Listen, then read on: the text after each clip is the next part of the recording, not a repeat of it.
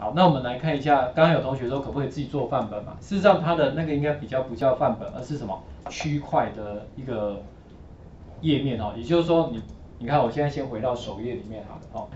我先回到最外面这一页，来从上面这里切换不同页面，点过来，有没有？我可以切换过来。你如果不要它的网站标题是 home 的话，你可以改，可以打中文，哦，可以打中文哦。那但但是呢，首页基本上是一定要叫 index。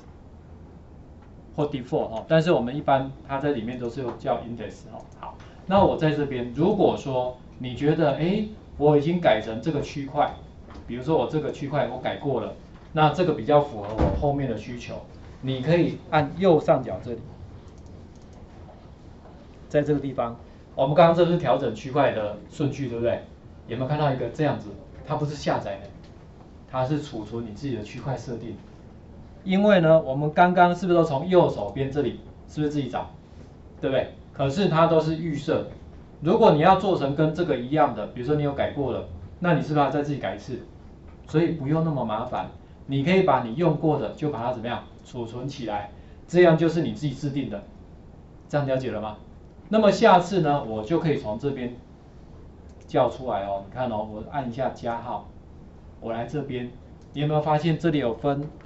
不同的修二布景主题扩充的跟使用者制定的，我现在在使用者制定的这边，我只要点一下，请问它有没有加进来了？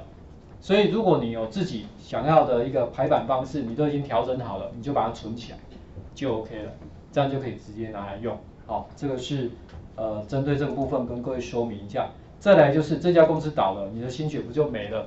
没有呢？不会啊，应该还好啊。因为这个是个软体，对不对？所以你就算没有连上网络，还是可以用啊。也就是说，你的专案留着，软体留着，我还是可以打开。可是当然了，它一进去是有一个登录的动作。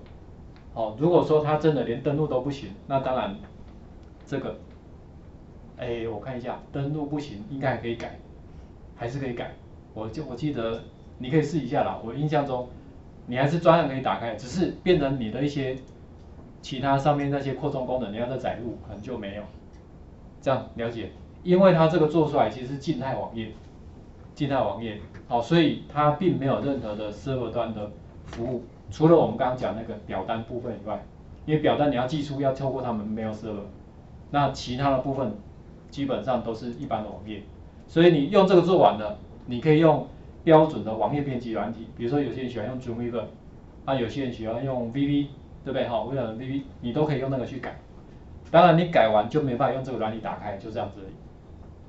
但是它都是标准的网页，这样了解？OK 哈，然后我看一下还有什么问题？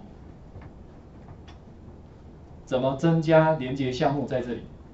底加上面上面上面这里，这里你如果要增加，你就点任一个地方，有没有？任一个选单，在选单的上面，这里是不是有增加？按一个，有没有再增加一个了？但是呢，如果你要增加次选单，它这边啊，你要调整顺序，可以往左边，往右边，来这里有没有往左边，往右边？你如果要增加次选单，要看范本，有的可以增加，有的不行。有没有这里有个 sub menu，这就次选单，这样有没有次选单？啊，如果还要次选单，还要次选单，还要继续下去吗？应该不用的嘛，哈。只是那个图示你要看清楚，就是因为但是有的范本没有资源哦，所以要稍微留意一下。